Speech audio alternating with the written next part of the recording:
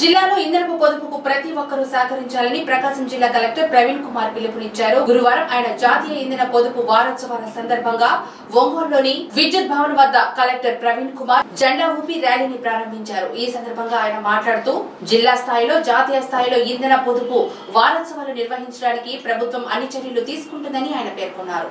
జిల్లాలో ఇంధనపు పొదుపుకు ప్రతి ఒక్కరూ సహకరించాలని ప్రకాశం జిల్లా కలెక్టర్ ప్రవీణ్ కుమార్ పిలుపునిచ్చారు. గురువారం ఆయన జాతీయ ఇంధన పొదుపు వారోత్సవాల సందర్భంగా ఒంగోలులోని విద్యుత్ భవన్ వద్ద కలెక్టర్ ప్రవీణ్ కుమార్ జెండా ఊపి ర్యాలీని ప్రారంభించారు. ఈ సందర్భంగా ఆయన మాట్లాడుతూ జిల్లా స్థాయిలో జాతీయ స్థాయిలో ఇంధన పొదుపు వారోత్సవాలు నిర్వహించడానికి ప్రభుత్వం అన్ని చర్యలు తీసుకుంటుందని ఆయన పేర్కొన్నారు విద్యుత్ పొదుపు పాటిద్దాం విద్యుత్ పొదుపు పాటిద్దాం విద్యుత్ పొదుపు విద్యుత్ పొదుపు విద్యుత్ జాతీయ సంపద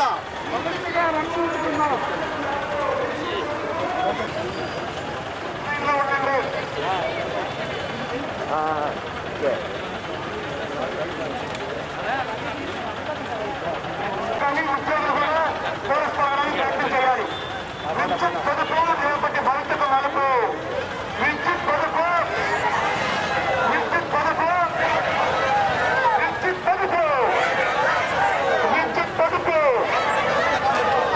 విద్యుత్ పొదుపు పాటించమన్నా దేశమును ప్రేమించమన్నా విద్యుత్ పొదుపు పాటించమన్నా విద్యుత్ పొదుపు పాటించమన్నా ఒక యూనిట్ విద్యుత్ పొదుపు చేస్తే రెండు యూనిట్లు ఉత్పత్తి చేసినట్లు ఒక యూనిట్ విద్యుత్ పొదుపు చేస్తే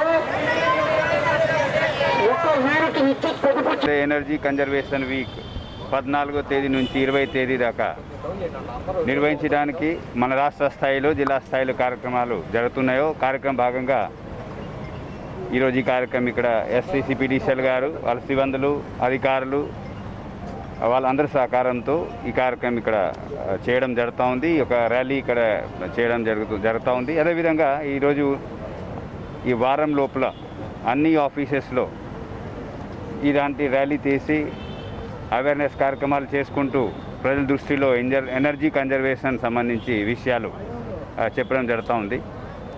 మనందరికీ తెలుసు ఎలక్ట్రిసిటీ పవర్ ఇవన్నీ ఎంత మనకు అవసరం ఉంది. దీనివల్ల హౌస్ హోల్డ్లో కావాల్సిన సౌకర్యాలతో పాటు ఇండస్ట్రీ అలాగే అగ్రికల్చర్ ప్రైమరీ సెకండరీ టెర్సరీ అన్ని సెక్టర్స్లో కావాల్సిన ఇండ- ఇండస్ట్రీ అన్ని అన్ని సెక్టర్లో కావాల్సిన ఈ ఎనర్జీ మనకు ఎలక్ట్రిసిటీ పవర్ అన్నీ మనకు అవసరం ఉంటుంది.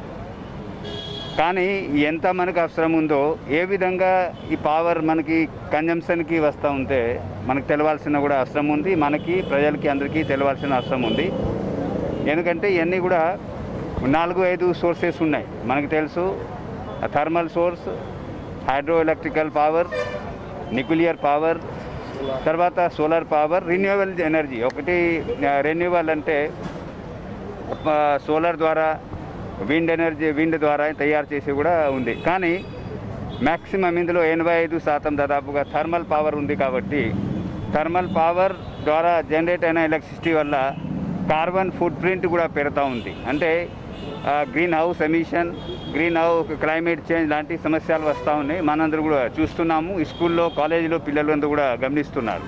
సో ఈ సందర్భంగా ఈ ఎట్లా తగ్గించాలంటే carbon footprint thermal power consumption ఎట్లా తగ్గించాలంటే రెండు. ఒకటి రెన్యూవల్ సోర్స్ ఇంకా పెంచాలి. ఇంటి ఇంటికి ఎక్కడైనా అవకాశం ఉంటే సోలార్ పవర్ అలాగే రా రాష్ట్ర స్థాయిలో క్షేత్ర స్థాయిలో కేంద్ర స్థాయిలో ఉన్న పాలసీ బట్టి wind power energy nuclear energy ఇవన్నీ కూడా జరుగుతూ ఉంది. కానీ అన్నిటికీ సమయం పడుతుంది. రెండోది అది మనం చేసేది. మనం మనం చేయగలుగుతాము. ఇప్పుడు గవర్నమెంట్ డిపార్ట్మెంట్లో కానీ ప్రజలు కూడా సహకారంతో చేసేది ఏముందంటే కన్జర్వేషన్లో అందు అన్ని విధంగా సహకరించ సహకరించినట్లయితే ఈ సమస్యలు కూడా చాలా వరకు తగ్గుతాయి. ఇందులో ముఖ్యంగా ఎనర్జీ పవర్ వేస్ట్ చేయకుండా మన ఆఫీస్లో కూడా గమనిస్తున్నాం.